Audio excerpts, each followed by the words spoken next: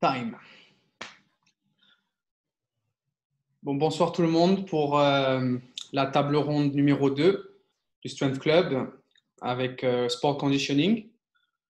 Salut Flo, merci de nous rejoindre ce soir. Est-ce que ton micro marche bien? A priori, oui. Ouais. Tu m'entends? Parfait. Parfait. Donc, euh, ce soir, le thème principal sera euh, axé sur euh, le RPE dans l'entraînement de force et voilà, sur, l'entraînement des athlètes ou des personnes pratiquant la musculation et suivant des protocoles de force. Et justement, le lien avec la récupération et l'importance de la, la, récupération dans l'entraînement. Ce soir, il y a Florent, donc en invité spécial, qui euh, va gérer euh, avec moi le, Strength Club sur, euh, sur Sport Conditioning. Donc, bienvenue à, tous et, à tous. Et ce soir, Florent va nous parler de son expérience personnelle, comment, comment il gère l'entraînement, son propre entraînement et sur l'entraînement des personnes qu'il qui prend en charge. Donc, dans un premier temps, une petite introduction sur, euh, sur toi, Flo, sur, euh, sur ton parcours euh, sportif et d'entraîneur. Et ensuite, on, enchaîne sur le RPE. Ok. Bonsoir à tous. Donc, Florent Giboin. je suis ancien joueur de rugby professionnel. J'ai dû mettre un, terme à ma carrière euh, il y a six ans maintenant. Euh, donc malheureusement, ce n'était pas voulu, bien sûr. Et euh, il a fallu que je me, recycle assez rapidement, que je me reconvertisse assez rapidement. Et la préparation physique a été de suite une, évidence. il a fallu tout d'abord que, que, je choisisse un petit, peu, un petit peu ma voie dans la préparation physique parce que la préparation physique aujourd'hui, c'est un domaine qui est, qui est très très vaste et de plus en plus vaste puisqu'on découvre de plus en plus de, de données à, à, faire concorder pour l'entraînement. Et euh, donc, du coup, ma, spécificité aujourd'hui, c'est de, me diriger sur tout ce qui est sport de force et de vitesse. Donc, du coup, euh, j'ai passé un, DE euh, altéro, force athlétique et culturisme, qui m'a demandé de, la pratique dans les, trois disciplines, du coup. Et, en, force athlétique, j'ai découvert un, certain goût de l'effort que j'ai poussé un petit peu puisque je me suis, je me suis investi dans la, compétition en, développé couché depuis cinq ans.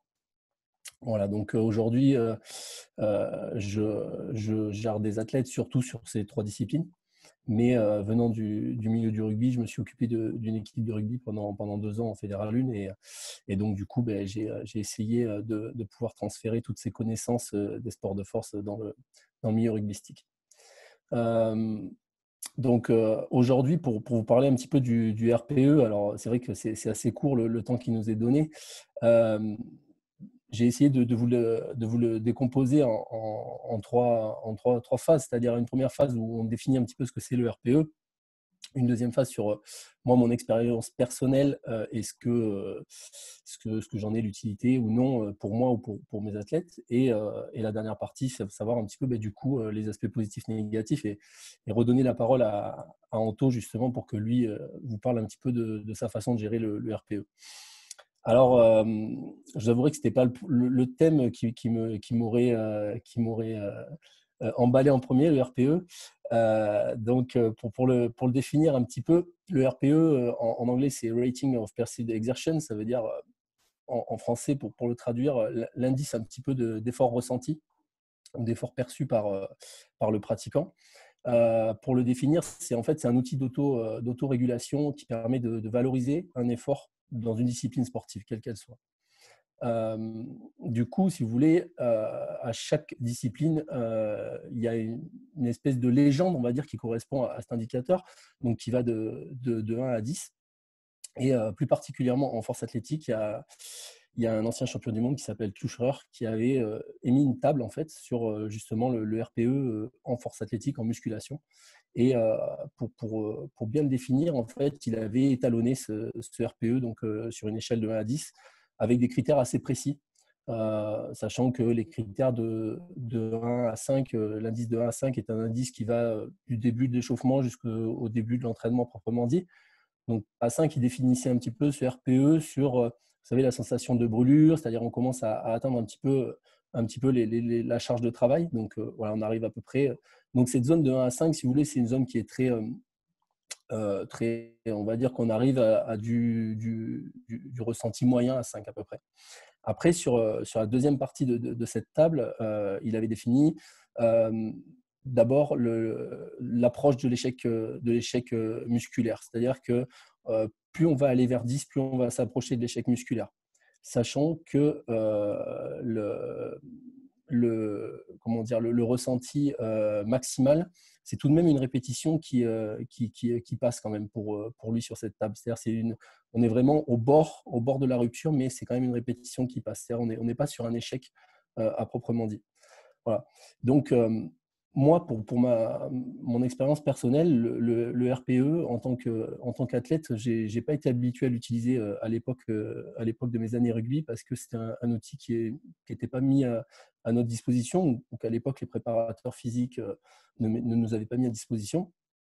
Donc, si vous voulez, dans mon entraînement de force, ensuite, ce n'est pas quelque chose que, que j'ai pu, que j'ai pu valoriser. Par contre, ayant une connaissance un petit peu du, corps humain, des efforts, etc., euh, j'ai pu détailler beaucoup plus qu'un RPE en fait. Euh, le RPE, on y reviendra tout à l'heure, c'est un, indicateur qui est un petit peu subjectif, euh, c'est-à-dire que c'est à proprement parler le, ressenti d'un athlète pour une séance type par rapport à un autre athlète qui aurait les mêmes caractéristiques, que ce soit morphologique ou génétique, on va peut-être pas avoir le même, le même ressenti. Euh, il y a une part, euh, il y a une part euh, mentale là-dedans, il y a une part de culture sportive, de vécu, de forme, d'état de forme, d'alimentation. Il y a tout un tas de paramètres qui, qui rentrent en compte qui fait que ce RPE peut être plus ou moins élevé en fait.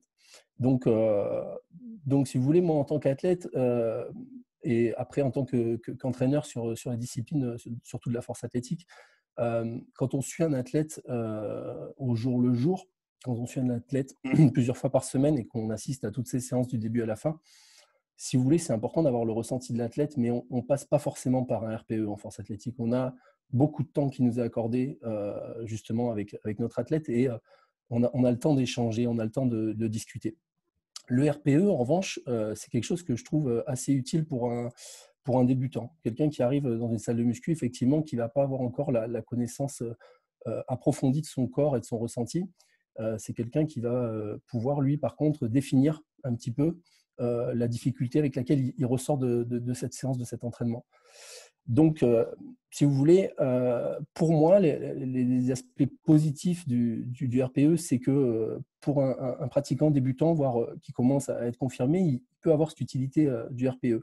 Pour tout ce qui va être expertise au niveau de la force, donc quand on commence à, à, tutoyer un petit peu le niveau national, le haut niveau, on a beaucoup, beaucoup de temps pour pouvoir échanger avec, son athlète et ça va bien au-delà d'un ressenti, c'est-à-dire qu'il y a l'observation qui, rentre en compte, euh, on, a le temps d'analyser tout un tas de, détails techniques, etc., qui nous permettent en fait d'aller encore plus loin que le RPE. Voilà. Euh, le RPE aussi, euh, je pense que ça peut être intéressant sur éventuellement un groupe d'athlètes, euh, que ce soit dans d'autres disciplines que la force athlétique, pour avoir un, petit peu une comparaison du ressenti pour une même séance pour différents individus. C'est quelque chose qui peut être, qui peut être relativement, relativement utile. Donc du coup, voilà, pour, pour faire un petit topo, un petit topo là-dessus, si vous voulez, le RPE, euh, pour moi, il peut avoir une utilité. Je pense que c'est un outil qu'il faut pouvoir utiliser. Je pense que les nouvelles générations, elles ont entre guillemets euh, grandi avec. Hein. donc, euh, elles sont habituées à, savoir un petit peu pour chaque séance qu'elles vont faire, que ce soit une séance de type aérobie, une séance sur, de la force max en musculation ou une séance tout simplement de, de, puissance dans une autre discipline. Et elle va pouvoir donner un, indicateur qui, je dirais, au, fil des années, va être de plus en plus précis par rapport à l'attente de l'entraîneur. Maintenant, voilà, la contrepartie, c'est que ça a une utilité, mais attention, ça reste, ça reste assez subjectif. Ça, reste, je pense que si on prend un individu, qu'on lui fait faire deux fois la même séance dans la, dans la, dans la saison, c'est pas forcément, il va pas avoir le, même RPE à chaque fois. Ce qui fait qu'en fait, euh, je pense qu'il faut le prendre en compte, mais il ne faut pas que ce soit une donnée essentielle euh, pour euh, justement mettre en place après votre, votre, dans votre système de planification, la récupération ou l'enchaînement de, la séance suivante. Voilà. Donc, euh, je sais que Anto, de son côté, euh, euh, pratique beaucoup le, coaching et, notamment beaucoup de programmation un petit peu en distanciel. Et je pense que lui, il va pouvoir vous, vous, vous, indiquer un petit peu comment il s'en sert, je pense que ça sera, ça sera peut-être plus parlant pour lui. Voilà. Donc pour, pour conclure un peu pour, pour ma part, c'est un outil que j'utilise, on va dire, un petit peu, mais ce n'est pas la base pour moi de, l'entraînement de la, force. Sachant qu'aujourd'hui, attention, on est sur un, sport, la force athlétique, où on est sur une, un partage total entre entraîneur et athlète de l'entraînement. L'entraîneur est totalement dévoué à son athlète sur toute la durée de l'entraînement. Il ne le lâche jamais d'une seconde. Il lui assure toutes ses barres. Donc voilà, il y a, y a une, une, liaison, je dirais, qui, est tellement proche entre les deux que le RPE n'est pas systématique pour, attention, je reprends bien pour les experts, éventuellement pour les débutants confirmés sur la force athlétique et sur les, sports de force que sont l'altéro, le culturisme et tout, on va peut-être arriver à trouver une, euh, idée et une utilité à, ça. Voilà. voilà. un petit peu le, partage d'expérience sur le RPE pour, euh, pour tout ce qui est euh, sport de force. Anto, je te, je te laisse nous, parler un petit peu pour toi de ta vision du RPE. Oui, c'est intéressant en fait de, de voir un peu euh, l'approche que tu as par rapport au RPE parce que justement, comme tu as dit, tu ne l'as pas beaucoup, beaucoup utilisé. Et euh, du coup aussi, euh, peut-être des personnes ici sur le, sur, le, sur le RPE, justement, l'ont pas encore trop expérimenté. Moi, ce que j'invite à, à, comprendre, c'est que le RPE, souvent, il ne faut pas s'y méprendre à se dire, c'est une méthode d'entraînement le RPE, il faut que vous voyez ça comme une manière de, traquer l'entraînement. Par exemple, justement, tu parles de l'importance de justement dialoguer avec ton, avec ton athlète. Et des fois, c'est là où c'est intéressant parce que le RPE, tu vas voir ton athlète, il, va te dire, bon voilà, j'ai fait un triplé, admettons, euh, et en ressenti, je suis à 8. Toi, de l'extérieur, tu vas dire, tu étais vachement rapide et, et, je pense que ton RPE était beaucoup plus... Euh, beaucoup plus euh, facile que ça. Voilà, moi, je le situe entre 6 et 7. Des fois, ça, cet outil du RPE, il permet de, comprendre un peu mieux ton athlète avec justement des chiffres pour savoir où tu te, où te, te situes dans, dans, ta préparation, dans ta progression. Par exemple, euh, juste des fois faire une note euh, de, 1, de 1 à 10. si par exemple, en début de saison, au premier bloc d'introduction, tu, tu, fais des triplés je sais pas, moi, à 150 kilos et tu sens en termes de fatigue, en termes de perception d'effort, tu es aux alentours de 8, mais qu'au bout d'une saison, tu, tu, utilises la même charge en triplé, par exemple sur des, euh, sur des back-off, des séries en back-off, par exemple, avec un RPE plus simple. Donc là, c'est par exemple ce qu'on appelle une, une progression au RPE. Voilà, c'est c'est là où c'est intéressant d'utiliser le, RPE dans l'entraînement. Aussi, des fois, dans une planification, surtout en planification euh, à distance, où euh, ça permet de rester un peu conservatif un peu sur, les charges d'entraînement. Des fois, pas de se griller dans la préparation, pas brûler les étapes et pas se dire, voilà, bon, je vais, faire des, euh, des, monos aujourd'hui, je vais faire des, des une rep et, et monter trop, trop tôt dans la préparation, trop lourd pour justement caler le, RPE au, euh, à, ce, qui marche le mieux pour, euh, pour, pour l'athlète. Parce que certaines personnes, par exemple, vont pouvoir euh, rester sur, sur des triplés ou des singles ou, ou des 5 reps avec une intensité qui est proche limite de, de l'échec. D'autres vont avoir besoin de justement rester avec des charges où ils sont beaucoup plus à l'aise, sont beaucoup plus loin de l'échec pour justement progresser. C'est euh, souvent certains appellent le, le, momentum. Quoi. Ils sont en train de construire en gros un bloc où ils vont monter progressivement en charge et vont essayer justement de, de piquer en performance à, une certaine, à un certain moment donné parce que ce qu'on cherche toujours, c'est n'est pas forcément la performance à l'entraînement, mais c'est en fait de, de, de caler avec l'entraînement un schéma qui va nous permettre d'être bon le jour J parce que c'est le jour J, le jour de la compétition, que ça compte. C'est pour ça qu'on essaie justement de mettre en place des, choses pour, euh, pour caler le RPE et en fait traquer, c'est un peu comme une diète, traquer euh, des, des, macros et voir euh, ce qui se passe en gros quand on monte l'intensité, quand on la baisse, quand on, quand on, la, quand on reste un peu dans, dans, un rythme de, de croisière pour préparer un peu la phase intensive. c'est c'est un outil en fait. C'est un outil dans l'entraînement qu'on peut coupler au pourcentage de travail et, euh, et en gros, euh, euh, comment dire, et en gros après au, feedback que le que l'athlète, l'élève, en gros, nous donne. Voilà. Donc au final, c'est c'est une chose à caler dans l'entraînement parmi, parmi tant d'autres pour justement optimiser le, le suivi. Voilà. En fait, un petit peu pour, reprendre ce que tu dis, c'est, euh, c'est-à-dire qu'en fait, il, y a aussi toute une. Je, je lis un petit peu le, chat en, même temps avec les différents commentaires. il y a toute une, partie euh, de, ce ressenti qui est liée en fait à la, particularité, même, de votre athlète. On parle souvent, nous, en force, de, trois êtres l'être plutôt spatial, l'être spatio-temporel et l'être temporel. C'est-à-dire que euh, l'être qui va être capable, euh, on va dire plutôt l'athlète qui est capable de produire euh, des, des, charges à très haute intensité, ou tout du moins qui est capable de, lever des barres très lourdes, d'accord? Donc qui va performer vraiment dans un, dans un, dans un domaine lactique. Et au contraire, plus on s'éloigne vers le temporel, plus on a un être qui est capable de lui rééditer une charge avec un pourcentage relativement élevé et qui va vouloir, euh, on va dire, qui, va être plus à l'aise pour euh, rééditer les efforts. Et en fait, ce qui est important, c'est que selon la, séance que vous allez faire, selon la partie de la programmation où vous êtes, euh, ben, on va, le RPE va pouvoir faire ressortir un petit peu aussi la particularité de votre athlète. Si vous avez un athlète spatial, il va peut-être et sûrement même vous mettre des RPE très élevés sur une partie euh, qu'on appelle nous phase extensive en force, c'est-à-dire la phase vraiment euh, où on fait beaucoup de volume euh, et où on, prépare un petit peu, c'est un petit peu notre socle de préparation pour ensuite pouvoir performer. C'est-à-dire qu'en fait, ce socle qu'on appelle phase extensive, c'est notre, notre base de départ qui ne nous permet pas de performer, mais qui nous permet ensuite d'encaisser les charges de travail qui vont venir après lors des phases intensives et, spécifiques. Donc, euh, ce RPE, vous allez voir que ben, il va osciller en fait selon la, phase de, préparation dans laquelle vous êtes, par rapport aussi à, la particularité de votre athlète. Si je prends mon exemple pour en, pour en revenir, pour, pour, que ce soit un petit peu plus criant pour vous, moi je suis un être totalement, totalement spatial hein, euh, et en fin de compte, toute la partie euh, de saison qui, qui commence jusqu'à même celle du milieu me pose beaucoup de problèmes. Et quand j'arrive dans les derniers instants proches des compétitions et que je suis sur très peu de répétitions, des charges relativement élevées, c'est là où en fait je vais avoir les RPE quelque part les plus faibles. Euh.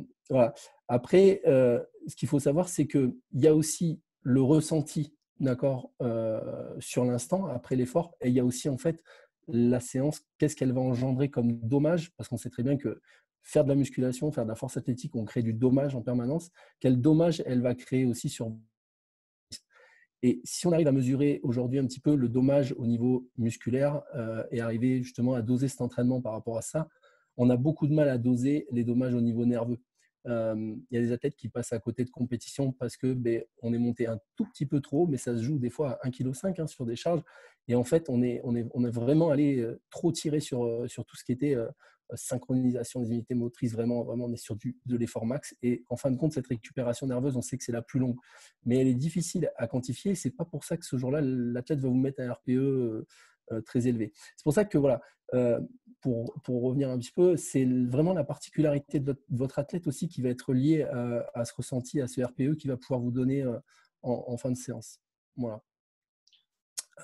pour enchaîner peut-être sur la récup, Anto? Yes. Bah, la, question, qui était intéressante à se poser et, que j'ai regardé un petit peu sur les, différentes analyses, euh, les différentes analyses qui avaient pu être faites, les différentes études sur le sur les RPE, il disait est-ce que euh, un athlète qui franchit une ligne d'arrivée après un marathon qui s'écroule, qui va être un RPE à 10, et celui qui va faire une séance de, PPG, qui est un athlète qui a tendance à engorger, qui va faire simplement des pompes, par exemple, un maximum de pompes et qui va, qui va arriver à 10 aussi, puisqu'il va arriver à l'échec musculaire. Euh, on va avoir deux RPE à 10. Est-ce que la durée de récupération derrière euh, va être la même? C'est-à-dire, voilà, est-ce que c'est parce qu'on a un RPE qui approche de l'effort maximal qu'on a forcément le même temps de récupération derrière? Donc, Anto, je ne sais pas si ça t'intéresse de. Donc, en fonction justement du, RPE, en fonction d'ajuster, justement, tu demandes les, les, récupérations voilà, en fait, si tu veux, c'était intéressant, je trouve, d'aborder ce thème, c'est-à-dire de dire le RPE, il est hyper élevé. Est-ce que derrière, j'ai une récupération qui va être hyper importante ou au contraire pas forcément importante? Parce qu'en fait, justement, c'est pour montrer un petit peu euh, la subjectivité de, cet indicateur. Hein. c'est que est-ce que ben, le mec qui a couru un marathon, il va, il va avoir besoin de la même récupération qu'un mec qui a fait un maximum de pompes et, qui, a, atteint un RPE de 10 aussi, tu vois? Après, ça, ça, dépend du, en fait, euh, du niveau euh, de, fatigue. Là. là, on parle de, pas forcément aussi de, perception des formes, mais au niveau d'état de fatigue.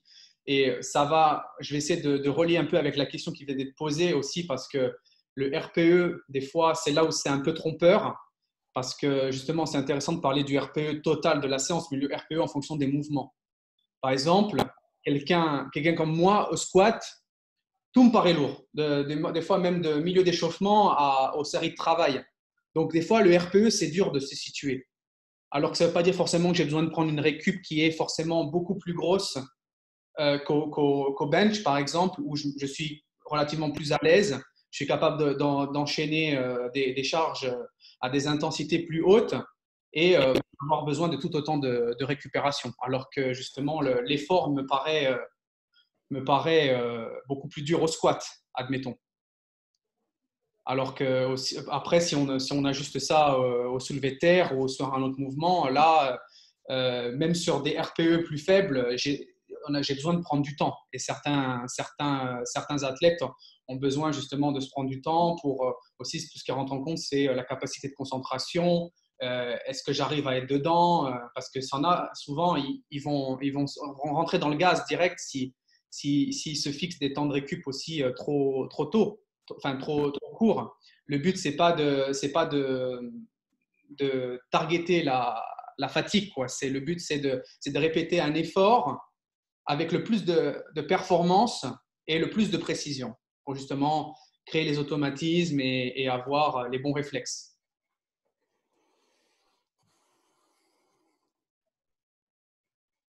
Oui, d'accord avec toi. Je suis d'accord avec toi. En fait, j'ai vu qu'il y avait quelques questions aussi qui, se mettaient. J'ai vu Seb, il me demandait spatial, c'est spatial, temporel et spatio-temporel. Voilà, les, trois termes. Euh, effectivement, en force, euh, ce qu'il faut, qu'il faut se dire pour, pour ceux qui ne connaissent pas véritablement la, programmation euh, et la, pratique véritablement de la force athlétique, c'est qu'un forceux, il ne se repose pas, il se reconstruit. C'est-à-dire qu'en fin de compte, il a tellement, euh, tellement brassé de, de, de, charges à l'entraînement que les jours où il ne s'entraîne pas, il ne se repose pas, il reconstruit son corps, en fin de compte. on dit souvent que, que cataboliser, c'est facile, anaboliser, c'est beaucoup plus dur. Et on a tous eu, je pense, euh, que ce soit dans toutes les disciplines euh, dans lesquelles vous pouvez exercer, ce type d'athlète qui veut venir tous les jours, qui veut venir tous les jours et qui veut tous les jours, euh, qui, ne comprend pas en fait cette, cette, idée de, de, la récupération. Alors, soit il la comprend pas parce que bah, tout simplement, il ne l'a jamais ressenti. Euh, soit il ne la comprend pas parce que peut-être que les charges de travail ne sont pas assez élevées et, euh, du coup, pour lui, il n'a pas besoin d'une forcément de, récupération. donc, euh, en force, on est, je dirais qu'on est assez expert sur, sur la programmation au niveau des, séances pour savoir un petit peu ben, comment, comment la, séance, quel, quel, dommage va, va, engendrer la séance et du coup les, les, temps de récupération qui vont devoir être, être, être placés derrière. Je vous prends un petit exemple euh, pour, que ce soit un petit peu plus parlant. Euh, quand on fait des, pyramides euh, d'excentriques, par exemple, avec des charges submaximales, avec des, tempos très lents justement pour, pour vraiment. alors nous, on appelle ça de l'appréhension de charge en force, hein, c'est-à-dire ne, ne, pas être surpris par la charge. il faut qu'on soit capable justement de, de, pouvoir travailler sur des charges beaucoup plus lourdes. Cet excentrique, on sait qu'il y a des gains de force qui sont monstrueux. Mais par contre, un travail excentrique pour un forceux qui fait une pyramide avec un, microcycle ou, même voir un petit peu, plus sur, de l'excentrique, on sait que pendant neuf semaines derrière, il faut qu'il accepte de ne pas remonter au-delà de 70-75% de, de, son RM. Ça veut dire que derrière, il faut que le mec soit capable de continuer de travailler sur d'autres aspects, que ce soit technique, que ce soit du volume, que ce soit de la mobilité, que ce soit tout un tas ça peut être sur des efforts dynamiques où on va, on va travailler un petit peu plus sur la vitesse. Mais par contre, on sait que musculairement, il ne faudra pas retravailler sur des charges qui sont trop élevées. Mais ça, il y en a qui ne sont pas capables de, de, le comprendre. Et, et, du coup, ben, ils passent un petit peu des fois à côté d'une carrière parce que ben, c'est des mecs qui sont très forts au départ, mais ils gèrent mal la charge d'entraînement. Euh, voilà. Donc la, récupération, euh, on, parle souvent des facteurs d'intensité, de volume, de fréquence, etc la, récupération, c'est un paramètre essentiel à la performance. Je dirais même c'est un paramètre indispensable à la performance. C'est-à-dire sans celui-là, on peut passer à côté d'une compétition. Voilà.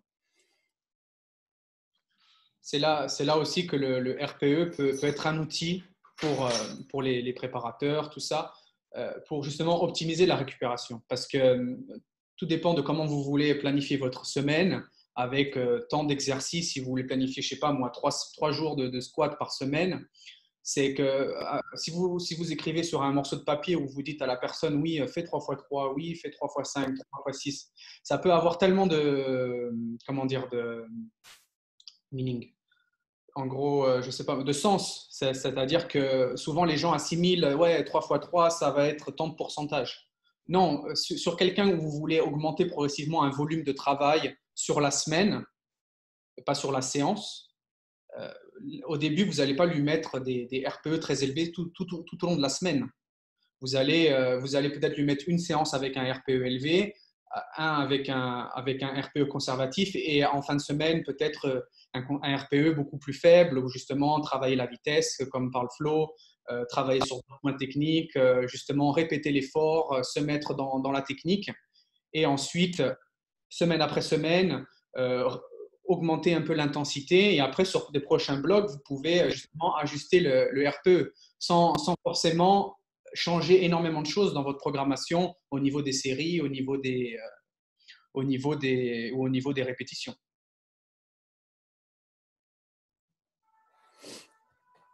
Des, questions en même temps.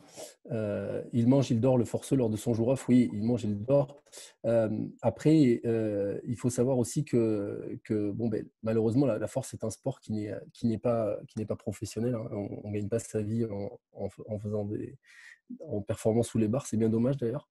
mais, du coup, il, faut, prendre en compte l'environnement du force athlétiste.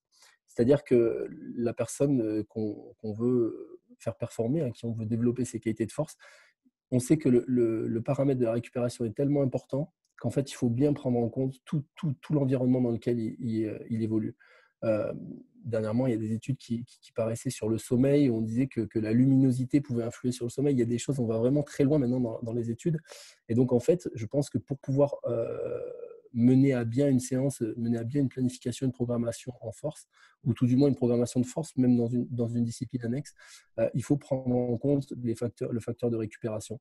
Et, comme disait Anto, euh, euh, s'en servir pour faire évoluer sa semaine de travail, c'est assez intéressant aussi. on a tendance aussi souvent en force à négliger un petit peu l'aspect technique et l'aspect des, des, efforts dynamiques. Souvent, tout le monde a entendu parler, je pense, de la logique de, de. Euh, on travaille beaucoup sur des efforts euh, maximaux, des efforts répétés, mais on oublie un petit peu ces facteurs dynamiques. On oublie que, oublie que ben, quelque part, euh, on, a 30% de la performance qui, est faite à, partir de, ces efforts-là. Donc, c'est-à-dire que si on néglige cette partie-là de l'entraînement, c'est une partie avec un RPE qui va être, comme disait Anthony, un petit peu plus faible. Donc, on va avoir l'impression des fois de ne pas travailler et qui pourtant va être essentiel dans, la performance en, force athlétique. Voilà.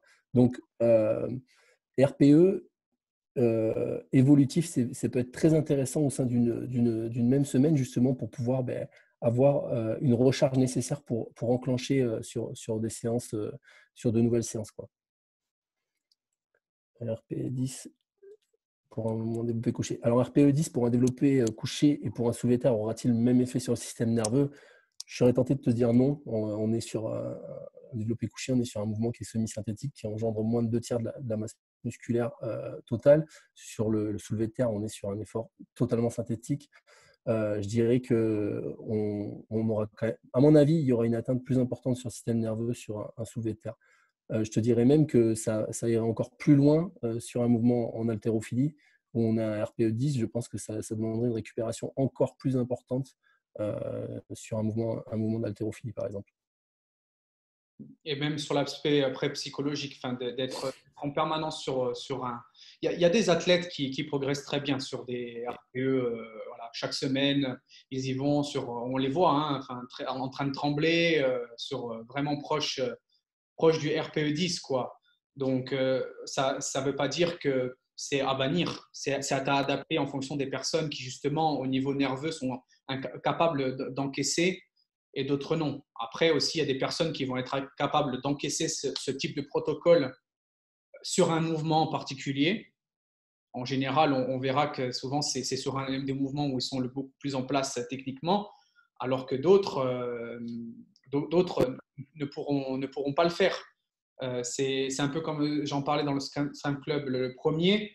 Euh, certains, dans une préparation, ils vont commencer en fonction de leur mouvement, squat, bench, deadlift. Ils vont pas commencer au même niveau en termes, en termes d'intensité. Ils vont build up ils vont augmenter en finale à, un rythme différent. Peut-être qu'ils vont être un peu plus en avant sur le squat. Le terre, ils vont se réserver parce qu'ils savent que dès qu'ils vont monter dans les tours, trop tôt dans la préparation, après le jour J, euh, ils vont souvent euh, contre-performer. Il y, a eu des, il y a eu des athlètes souvent euh, sur, sur des championnats du monde, d'Europe. Voilà, ils ont dit qu'ils étaient super en forme, ils postaient des vidéos, ils étaient vachement et on, s'est dit, ouais, putain, ils vont tout casser. Et hop, le jour des, les jours des mondes. Bon, après, compte tenu de toutes les circonstances, hein, bien sûr, hein, il ne faut pas se, focaliser que sur ça. Mais voilà, ils ont, ils ont dit que justement, euh, souvent, ils étaient un peu trop prématurés dans leur, euh, dans leur cycle, justement. Ils ont voulu brûler les étapes. Et c'est ça qui leur a fait un peu, euh, justement, contre-performer à la compétition.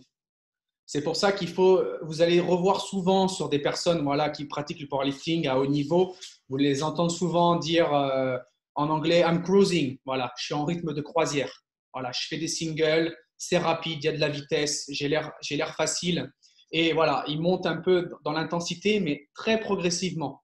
Très progressivement et souvent, ils, vous allez les voir les faire des singles relativement aisés. Après, ils vont essayer de progresser sur leur, sur leur capacité de produire des répétitions sur les, sur les séries de, décharges.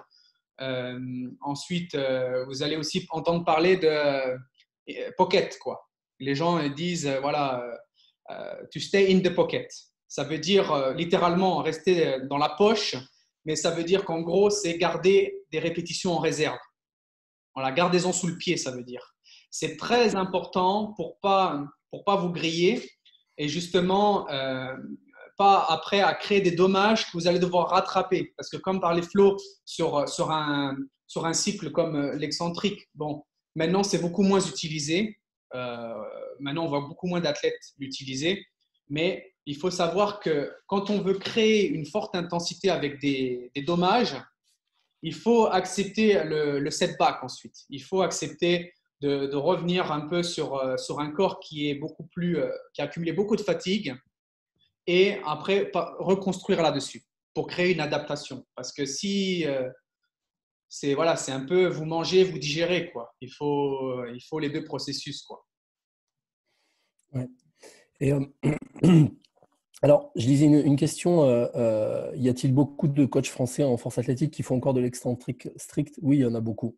Il y en a beaucoup. Euh, il faut savoir que quand on prend un, athlète, alors c'était très intéressant. La dernière fois, Fred a parlé de, son protocole pour progresser au squat avec finalement un, volume assez important, une intensité relativement, relativement basse par rapport à ce qu'on peut connaître. Euh, et, en fait, il faut savoir que quand vous allez prendre un athlète qui, arrive pour la première fois dans votre salle de, force athlétique et qui veut pratiquer euh, cette discipline, euh, il est assez facile de, lui faire monter des barres rapidement. C'est-à-dire que c'est peut-être quelqu'un qui a déjà fait de la musculation, mais avec toute une partie technique qui va être travaillée assez, rapidement, puisque on sait très bien que pas de technique, pas de montée de charge. Ça, c'est chez nous, c'est une règle qui est, qui est, stricte.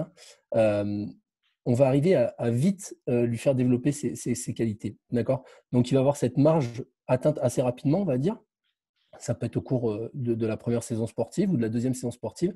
Et on va arriver à un moment donné à, une stagnation. C'est-à-dire qu'on va arriver à un moment donné où ben, ces efforts répétés, c'est-à-dire ce fameux 5 x 5 dont on parle dans le milieu de l'haltérophilie et de la force, entre 75 et 85 euh, on va arriver euh, sur des paliers où, où ben, ça passe plus, c'est-à-dire ben, ça, ne fait plus progresser.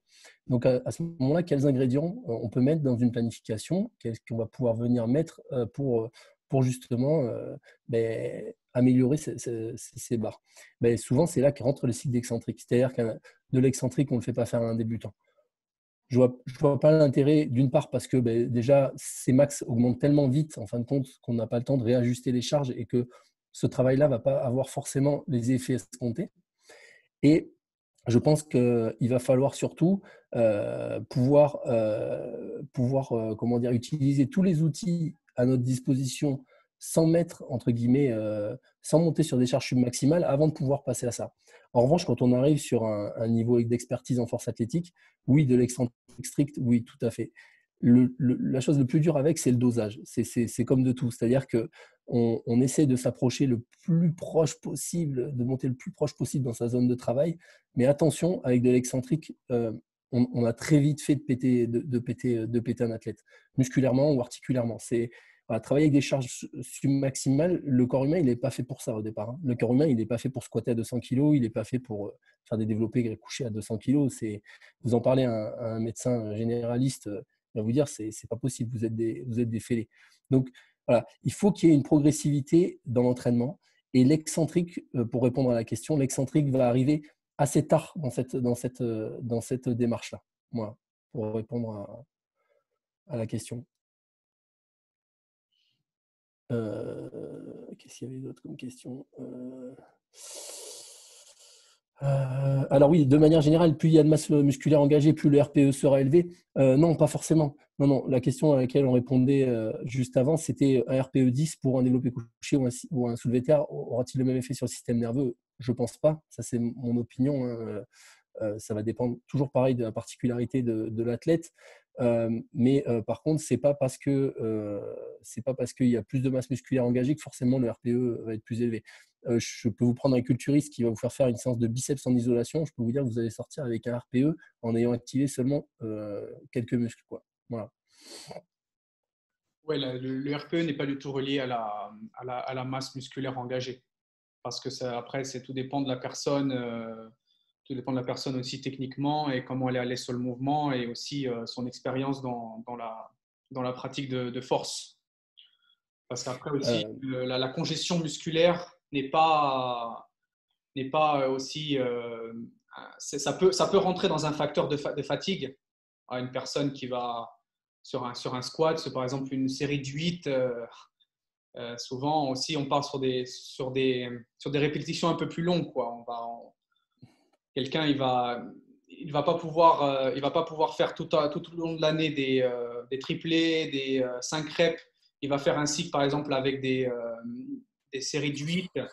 Il va être beaucoup plus sur des répétitions plus longues. Il va sentir la congestion musculaire. Donc pour lui, le, RPE va, va, augmenter parce que peut-être il n'aime pas ça ou peut-être il n'aime il n'est pas du tout habitué. Donc, mais ça ne se joue pas forcément à la, à la masse musculaire plus au ressenti. Euh, je reprends les, petites questions du coup, hein, euh, puisque c'est intéressant que vous puissiez échanger avec nous, c'est le but de, cette table ronde. Euh, par rapport à Marc Vouillot qui disait de ne pas faire plus de 105% en excentrique, alors en fin de compte, Marc disait souvent que, lui, des fois, pour, passer des caps, simplement de sortir une barre d'un rack et la remettre sans pour autant faire un mouvement, ça, ça, lui, ça, lui, apportait au niveau de, l'appréhension de la charge. Après, euh, je dirais que tout, tout dépend ce qu'on entend. 105% en excentrique pour quelqu'un qui va faire 250 euh, ou 300 en squat, euh, vous imaginez les, contraintes qu'on va, qu'on va lui mettre aussi sur tout ce qui est articulaire. Il ne faut pas oublier qu'on a une structure qui est, qui est, assez fine quand même, même si elle est assez solide. Et même si on a construit une enveloppe musculaire autour qui est énorme, à un moment donné, par rapport à certaines charges, euh, il va falloir, euh, faire attention. On prend par exemple un, Américain comme Benson qui fait 400, euh, 425 au développé couché. Vous imaginez s'il travaille à 105% en excentrique, ce que ça va pouvoir donner au niveau du mouvement. donc, en fin de compte, 105%, Marc, il a dit 105% parce que quand on arrive sur des barres très lourdes, et je pense qu'il c'est un expert, il parlait de, sportifs euh, de haut niveau. Euh, c'est vrai qu'effectivement, quand on va arriver à 105-110%, euh, on arrive vraiment sur, des charges max. J'avais entendu parler d'un travail excentrique à 150%. Vous imaginez bien sûr quelqu'un qui fait 300 kg squat, prendre une barre à 450 pour faire de l'excentrique. Vous imaginez ce qui va en résulter en bas, au niveau du sol. Voilà. Donc l'excentrique, 105-110%, euh, oui, effectivement, on peut monter même jusqu'à 115% euh, selon le niveau de l'athlète, la forme de l'athlète et, surtout les, effets qu'on veut avoir derrière. voilà. Il y a d'autres questions qui sont arrivées. Anto, je ne sais pas si tu as eu le temps de.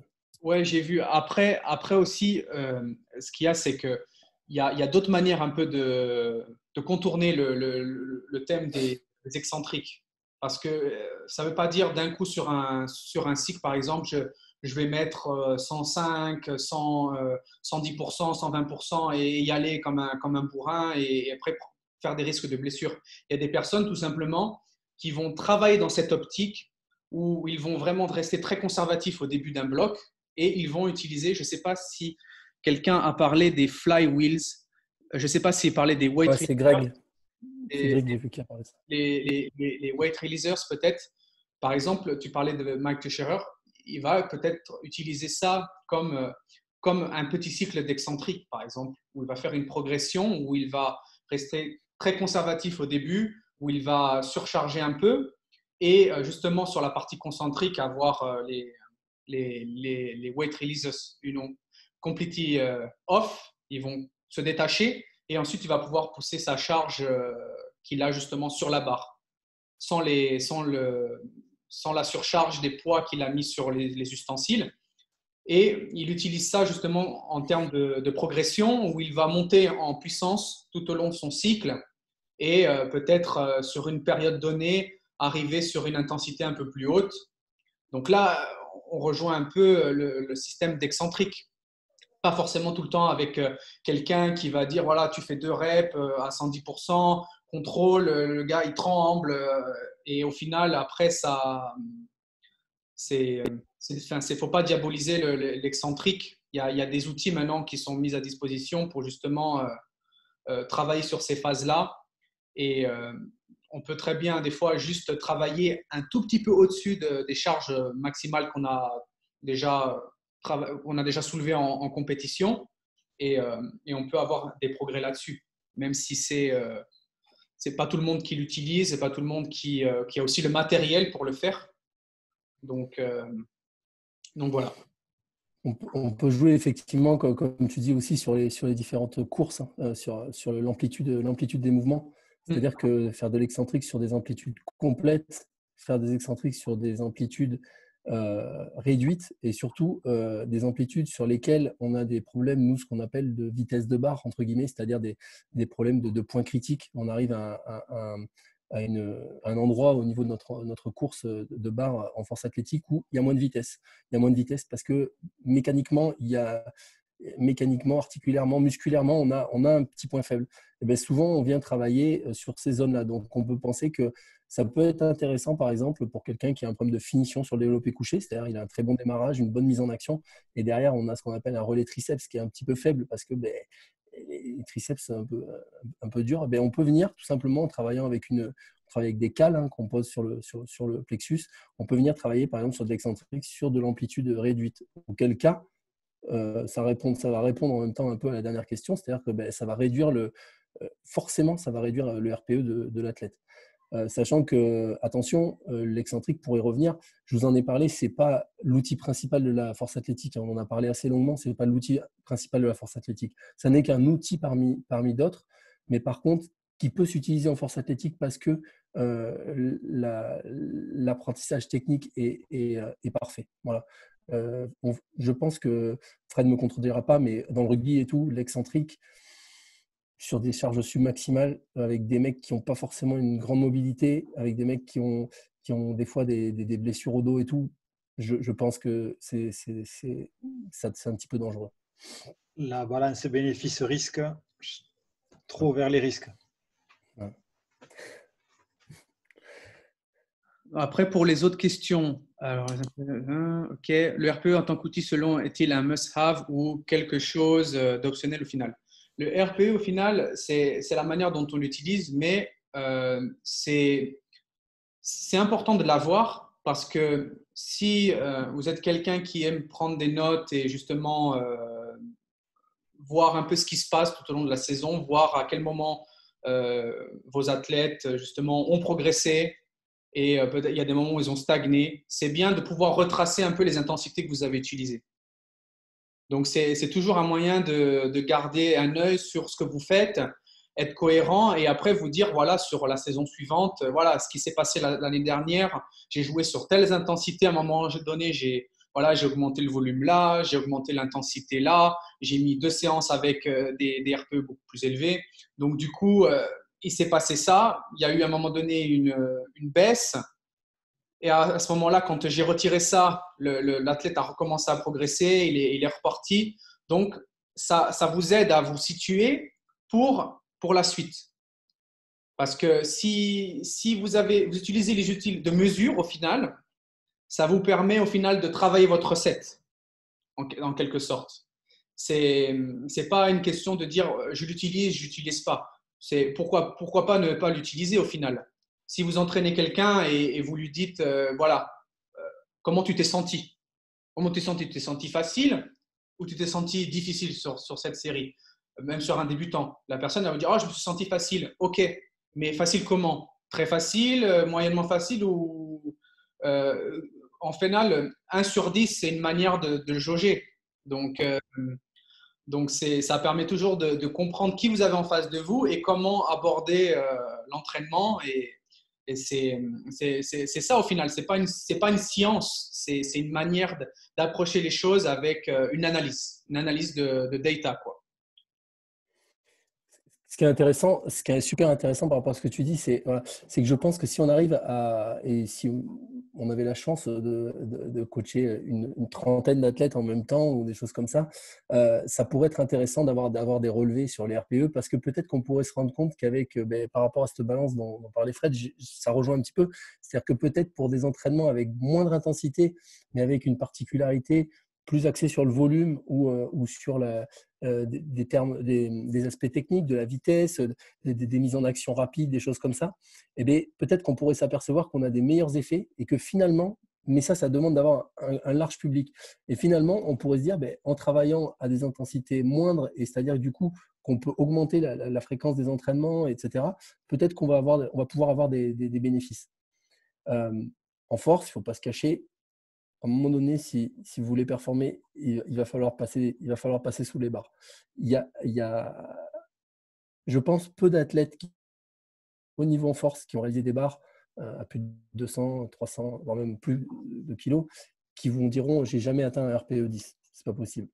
Euh, je pense que ça fait partie des sports où malheureusement, je dirais malheureusement, on est obligé à un moment donné d'aller tutoyer les, limites.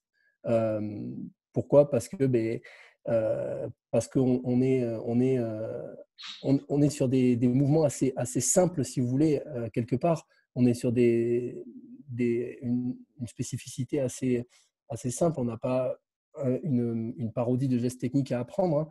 Hein. simplement trois mouvements à savoir bien exécuter. Et bien, du coup, sur ces mouvements-là, il va falloir qu'à un moment donné, forcément, le, RPE, il monte, quoi qu'il arrive. Oui, ensuite, après, c'est une, manière pour vous, pour vous de voir voilà, sur un cycle. Voilà, sur, sur euh, je, vais, je vais faire une séance, une semaine, euh, comment dire, un cycle de cinq semaines, admettons, où je vais essayer de monter sur, euh, sur des monos, quoi, des singles, avec un, avec un RPE relativement élevé.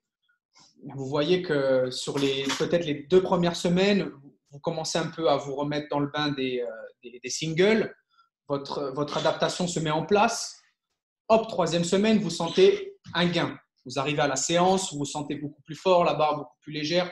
Vous montez un peu plus en charge dans votre, dans votre programmation, vous faites le taf. La semaine 4, vous vous sentez vraiment, vraiment en pleine puissance. Après cette période-là, peut-être vous allez sentir une fatigue un peu accumulée, vous allez sentir que voilà, c'est un peu la, phase descendante. Vous savez vous, allez, vous devez gérer une planification. Si vous voulez que quelqu'un soit très fort en faisant une phase d'intensification, admettons, vous savez que voilà, il faut peut-être vous y prendre quatre semaines à l'avance. Pour quelqu'un d'autre, peut-être ça va se sur la sur la courbe, peut-être il va falloir vous y prendre un peu plus tôt, d'autres un peu plus tard.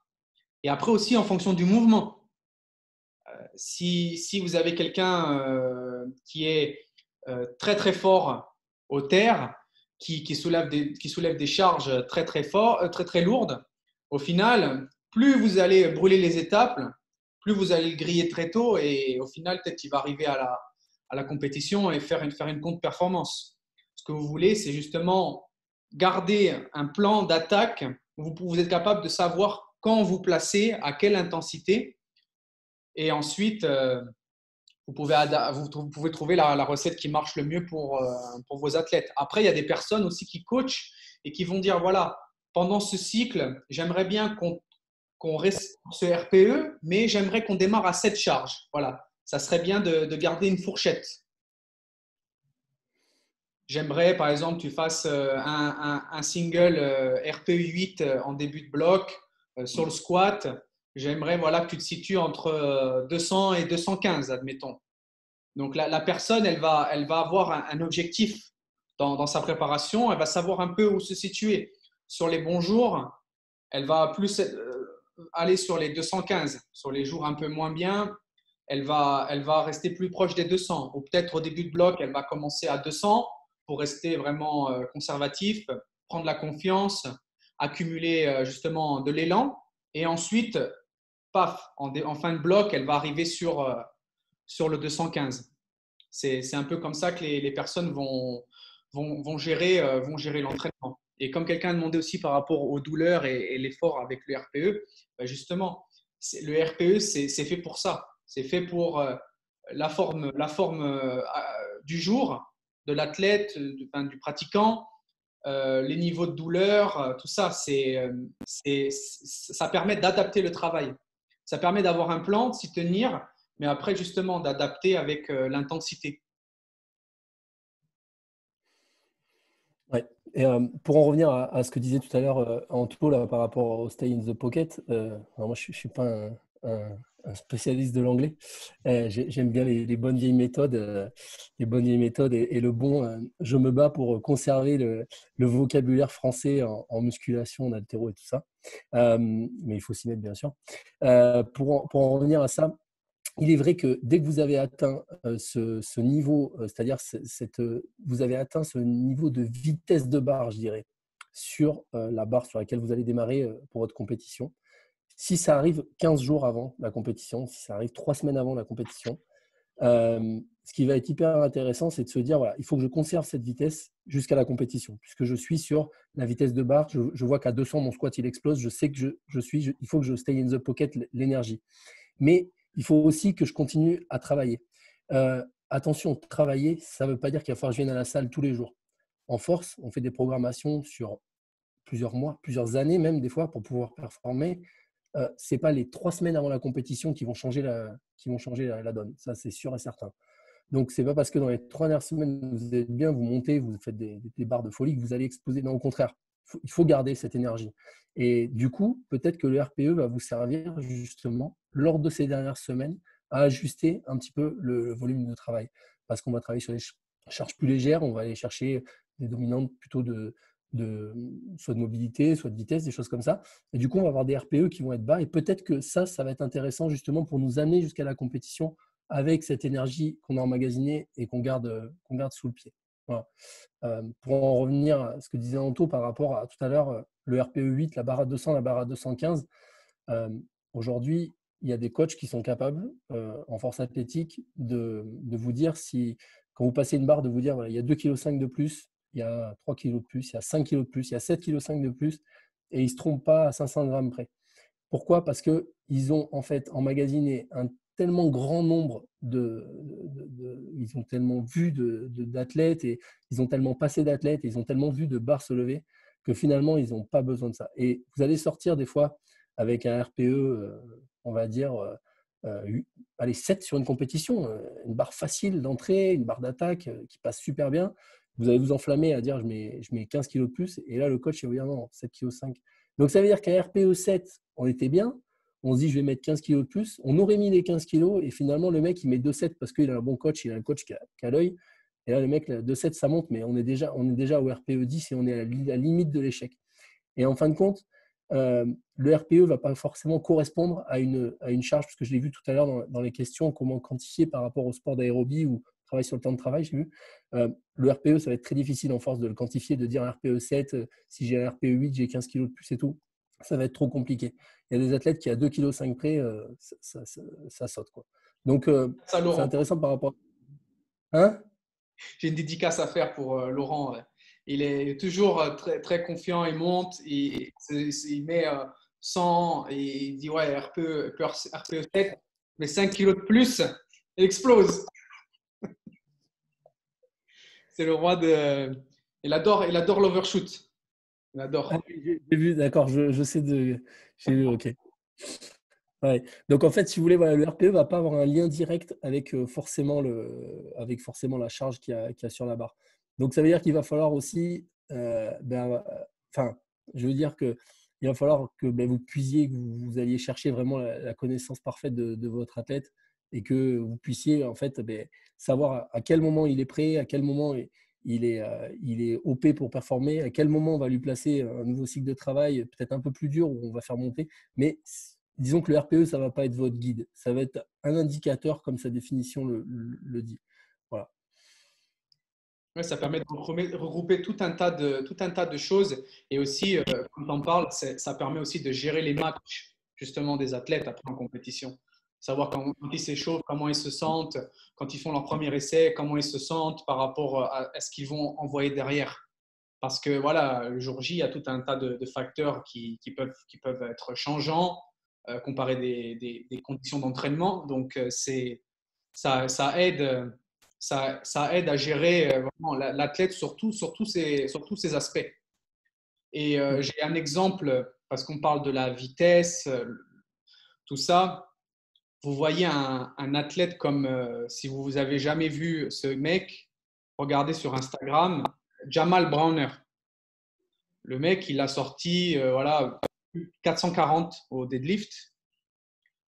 Euh, vous regardez ses séances, le mec, il, encaisse des séances et vous le voyez, il le mec, vous avez l'impression qu'il force jamais. Il fait des, il fait des, il fait des singles euh, sur certains jours. Voilà, il, est, il, est, il travaille sur, euh, voilà, sur l'ondulation des charges. Le mec est toujours facile. Vous le voyez jamais trembler comme. Voilà, des fois il a des problèmes de grippe où il a, il a justement des fois euh, met les sangles, des fois il a une technique un peu plus, euh, un peu moins bonne certains jours. Voilà, il le précise, mais il y a des, vous voyez, toutes ces séances, il n'y a pas une séance où il est là en train de trembler et euh, être complètement en mode à l'arrache quoi pour, pour, pour, sortir une rep. Il travaille sur du 2, sur du 3, sur du 5, sur des pauses rep, des deadlift. Après, même au squat, on ne le voit jamais trembler. Euh, complètement perdre ses trajectoires. Au coucher, pareil. Donc, euh, donc ce qu'il y a, c'est qu'il travaille sur, vraiment sur du qualitatif avec justement, il joue sur les charges en permanence et il fait en sorte de toujours rester dans une intensité cohérente à sa, préparation.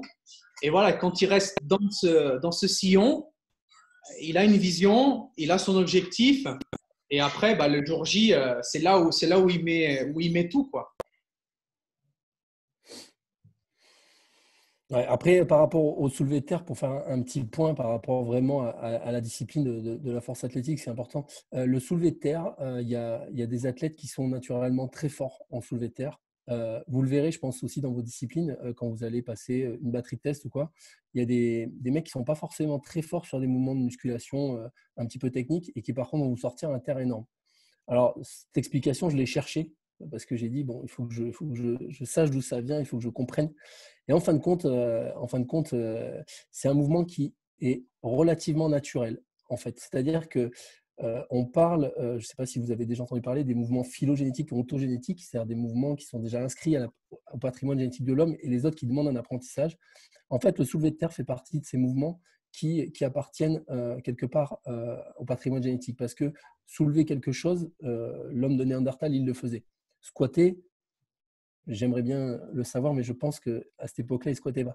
Donc souvent sur le soulevé de terre, vous allez avoir des, ne soyez pas surpris, vous allez avoir des mecs qui performent très vite euh, et qui très vite vont monter sur les charges. Et souvent, ben, cette explication-là, elle est assez rationnelle puisque ça explique un petit peu pourquoi du coup on a des, athlètes qui ont un énorme deadlift et qui euh, en revanche sont un petit peu plus euh, faible sur le bench et le, et le, et le, et le squat. Et euh, Anto, je suppose que tu le connais, Hassan El hein, qui est encore master et qui, mm-hmm. qui performe euh, encore, qui a été champion du monde, qui a gagné les Jeux mondiaux et qui, qui est master et qui, qui, tire encore en senior. C'est un mec qui s'entraîne peu en soulevé de terre finalement. Il a soulevé de terre à 307,5 pour moins de 66 kilos. Euh, et en fin de compte, il s'entraîne peu parce que c'est un mouvement qui est relativement naturel. Et en plus, de par sa constitution, il a, il, a, il a, des segments qui correspondent parfaitement à ce mouvement. Donc voilà, donc pour faire un petit, une petite parenthèse là-dessus, c'est vrai que souvent le deadlift, euh, euh, c'est un mouvement qui est assez naturel et vous allez avoir des athlètes qui vont relativement monter facilement en charge sur le deadlift alors que les deux, les deux autres mouvements vont, vont stagner un, un, petit peu. Donc, donc voilà, ça répond un peu par rapport à la question de, de Manu tout à l'heure aussi par rapport à, euh, au, nerveux sur le soulevé de terre et je dirais que presque tu vas récupérer un peu mieux sur le, sur le soulevé de terre que, que sur le squat et ça sera dû un petit peu, un petit peu à ça. Tu vois voilà. Mm. Bébé, on est souvent dans cette position. Euh, je ne suis, je suis pas allé jusque-là. Ah, je ne suis pas allé jusque-là. Pour le bébé, là. Ouais, alors le, problème, la position du squat, il faut savoir, je ne vais pas être très glamour, mais la position du squat au départ, elle, est faite, euh, elle est faite pour, euh, pour faire nos besoins en fait. Euh, c'est une position qui est donc en fait quelque part c'est une position dans laquelle on est faite pour descendre, mais c'est pas, ça n'a pas été fait pour remonter. Je ne sais, je sais pas si vous voyez un petit peu l'explication, mais voilà donc la position bébé, je je ne saurais pas, je saurais pas, je saurais pas répondre. Je sais que, je sais que, voilà, il y a tout un tas de mouvements qui appartiennent à notre patrimoine génétique. Je sais que par exemple, la natation ne fait pas partie de ces, mouvements. Naturellement, un homme ne sait pas nager, ça demande un apprentissage. Euh, il y a des mouvements qui sont euh, de gymnastique qui vont, qui vont faire partie de, de, notre patrimoine génétique, donc qui vont être faciles à réaliser parce que c'est des mouvements euh, pour lesquels on est fait. Et il y en a d'autres qui vont demander un apprentissage beaucoup plus long. Et donc, euh, ben, des fois, ne soyez pas surpris par, sur la complexité d'un geste, c'est souvent parce que ça demande un apprentissage plus long euh, que, que, certains autres gestes qui sont, qui sont plus innés, on va dire. Après, j'ai une petite, euh, peut-être des fois, j'utilise un peu cette image avec des personnes qui vraiment se sentent complètement déphasées avec un squat et beaucoup plus à l'aise avec un soulevé de terre ou même avec un, avec un développé couché ou tout ce qui est presse parce que les, personnes, souvent même les personnes euh, au final qu'on coach dans les salles qui n'ont pas d'expérience, elles sont très, on va dire, euh, manuelles. Voilà. Elles vont prendre des, poids, elles vont, elles vont aller avec leurs mains, elles vont, ça, va être leur repère. Avoir une barre derrière la nuque, on ne voit pas ce qui se passe, on, se sent hors de contrôle. Donc, euh, quand on va chercher une barre au soulevé de terre, on, voit ce qui se passe, on se sent en contrôle, on, prend une barre, on la, on l'amène sur la poitrine, on voit ce qui se passe, on se contrôle. Le squat, des fois, ça, pour des personnes qui, qui justement pratiquent au tout début ou après même qui progressent, c'est, c'est des fois aussi un mouvement qui est beaucoup plus euh, inconfortable. après, il y en a d'autres, voilà, ils excellent et ils sont beaucoup plus naturels aussi. Mais ce que tu dis, où tu as raison, c'est, effectivement sur, sur, les mouvements de, squat et de, et, de, et de développer couché, il va y avoir une appréhension qu'il n'y aura peut-être pas au soulevé de terre, de par ce que tu dis, effectivement, cette, cette ben, cette, cette, phase excentrique que tu n'as pas sur le soulevé de terre, que tu n'as que entre guillemets en, fin de mouvement. Mais euh, le fait de te mettre sous une barre, quelque part, à un moment donné, il y a un risque de, te la prendre dessus. Soulevé de terre, mis à part euh, que la barre elle décolle pas, il n'y a pas forcément trop de risques. Donc il y a aussi ça qui peut jouer effectivement sur l'appréhension de et qui fait qu'il y a plus de facilité euh, pour, pour effectivement. C'est vrai que le squat, souvent, tu as raison, Otto, est le mouvement le plus craint, je dirais, des, des pratiquants quand tu commences à monter sur les charges. C'est ce qui leur fait le plus peur. Le reste, euh, c'est, je dirais que ça, ça, passe mieux, effectivement. Ok. je ne sais pas s'il y avait d'autres questions euh, avant qu'on, qu'on clôt, parce que je vois qu'il est déjà 8 heures, en fait, ça passe euh, hyper vite. Les gars, vous me permettez une intervention? Yes. Bien sûr. Je ne suis pas invité ce soir, mais je ne me suis pas invité. je pense qu'il y, a, il y a un truc à. Je reviens sur le RPE. Et Anto l'a touché une paire de fois. Euh, à mon avis, il y, a trois différents RPE, trois façons de, faire un RPE. Et ça, c'est, je pense que ça va être important pour tous les préparateurs physiques qui ne sont pas issus de la force, parce qu'eux, ils connaissent en général le RPE. Euh, en fait, c'est l'indice de, la difficulté ressentie. Mais nous, là, dans la force, on parle déjà d'un premier RPE où on anticipe. On c'est euh, une manière de quantifier l'intensité. Donc, ça veut dire que plutôt que d'utiliser un pourcentage, on va dire, tu vas me faire une série, tu vas me faire un doublé, plutôt que de dire à 85%, on va dire à RPE, euh, je ne sais pas, 8, 7,5, 8. Ça, ça c'est un premier RPE. Normalement, il y a trois RPE. C'est le euh, RPE euh, prévu, réel et ressenti. Le, le réel, je l'enlève parce que j'y crois pas du tout. Normalement, le prévu, c'est l'entraîneur qui le donne. Donc, on va faire un doublé à RPE 8, par exemple. le réel, c'est censé être celui que l'entraîneur, lorsqu'il a vu la série de son athlète, il va euh, donner, il va dire, OK, je l'ai vu faire. Donc, tu en as parlé, toi, Flo, aussi, de, celui-là. Oui, qui perçoit. Le, le qui perçoit. Au final, le RPE, c'est complètement subjectif et on veut que ça soit subjectif et que ça reste subjectif. Et donc, celui de l'entraîneur, alors que ce n'est pas lui qui fait l'exercice, moi, je, je pense qu'il ne sert à rien. Donc, le prévu, le réel, le réel, j'y crois pas. Et le ressenti, c'est celui que l'athlète donne après sa, sa série. Mmh donc, voilà, pour moi, il y, a, il y, a, deux RPE différents. Celui qui permet d'anticiper, donc de quantifier l'intensité, et celui qui permet de euh, quantifier la, difficulté ressentie par l'athlète.